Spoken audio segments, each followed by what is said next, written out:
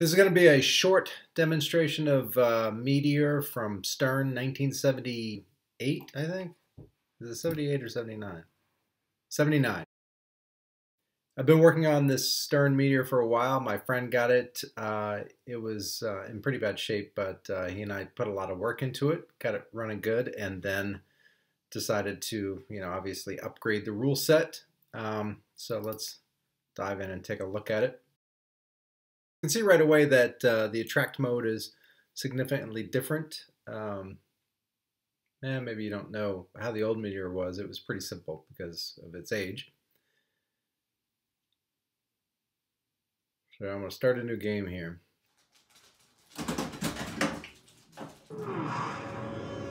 Space, timeless, Okay, here we go. So that intro is from the movie.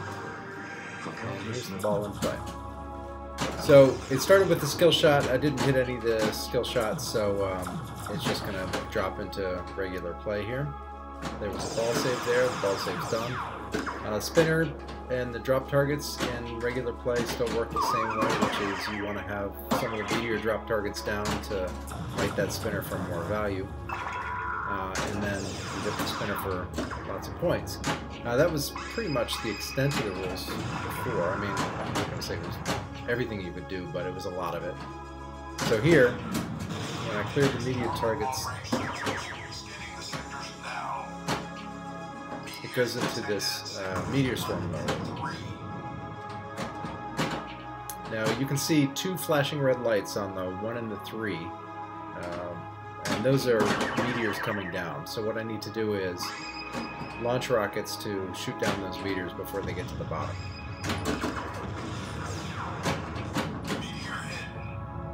So I, I got that rocket by hitting the uh, the number three dead bumper up there. Uh, that's you can see the one flashing now. If I hit the number one dead bumper up there, I will shoot a rocket on. And here I just shot a rocket on uh, sector one by knocking down all the one drop targets. So I'm gonna try and do that again because I've got another meteor coming down on one. But instead I hit that stand up and that also uh, shoots rockets. So I had a, a rocket um, queued on Sector 1 and it shot it off with the stand up. So I've got another Sector 1. I can either arm a rocket with the drop target, or I could just fire a rocket with the dead bumper. Rocket So there I fired a rocket with the dead bumper. And I've only got a couple meteors remaining now.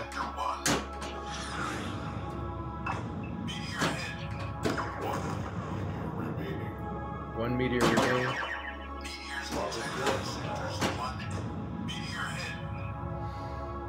Orpheus is incoming. We've targeted the meteor. Shoot only the lit shot to avoid fragmentation. So now I'm in Orpheus mode, uh, and it's a big meteor, and it comes in on the meteor drops, and you can see the wow light is uh, shifting back and forth between the two meteor targets that are available to me. So I have to hit the meteor target that's currently lit with the wow light, um, or else I will fragment uh, Orpheus. And it starts out with only two meteor targets in the first round of Orpheus. It gets harder to go.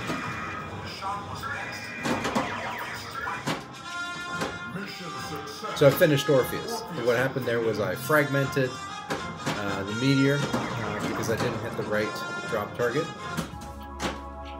And then um, I completed the fragmented Orpheus, which is, again, in round one, not very difficult. Uh, so it gave me a very brief uh, reward um, screen, where, er, not screen, very brief reward period where I was able to get big score from every switch. Um, and then here is where uh, my little two-month-old puppy grabbed the, one of the tripods, so that's why that camera just moved. Uh, so I said this is going to be a short demonstration. It's going to be a short demonstration because I'm going to lose that camera here in a second. Um, and you just saw uh, the, the meteor storm mode, which was where I have to clear meteors by hitting the drop targets or launching rockets or what have you. And then once you get to a certain number of uh, meteors cleared, then you get into Orpheus. So here um, I got into Meteor Storm mode by completing the meteor targets again for bonus X and getting into Meteor Storm mode. So I've got a meteor coming in on Sector 1 there. You can see it's dropping. Got it. Got another one on Sector 1. Now you also might notice there's a uh, 74 on the credit display right now. And uh, that 74 is because uh, that's the that's 99 minus the number of spinners I've hit.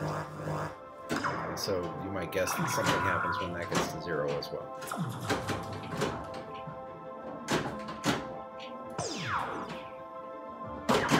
So a lot of the rules are the same when you're in regular play here. Uh, I can hit down uh, my my drop targets for the one, two, three bonus. Uh, if I get them all in a row, I can get a uh, you know extra ball or a special, what have you. So here's where I'm having uh, a slight argument with um, tiny little puppy, and then here's where he knocks the tripod. Here's that puppy. So that was pretty much the end of the game. Oh, I mean, it was the end of everything I wanted to show you. So, uh, you know, because of the tripod issue, that's that's the cleanest game I was gonna get, honestly, with uh, with him running around right now. So that's what I wanted to show you. Um, there's more to it. Uh, I'll probably make more videos in the future, and I haven't documented everything for this one yet. There's documentation for my other projects out there, so if you want to give it a shot, there's, uh, you know, I can help you with point you in the right direction, point you in documentation. Um, it's buildable now. Uh, if you've got a Meteor, you can build this for your Meteor for under 20 bucks. Uh, the code's all up online on GitHub, and uh, the schematics and all that stuff are up there as well. Uh, so give it a shot. It's a lot of fun, and um, I think it'll add a lot more play to your to your Meteor. Already a great game. This just makes it uh, a different variant, and you can always boot to the old code uh, just by installing a switch on your machine. You can boot either way. Hope you give it a shot.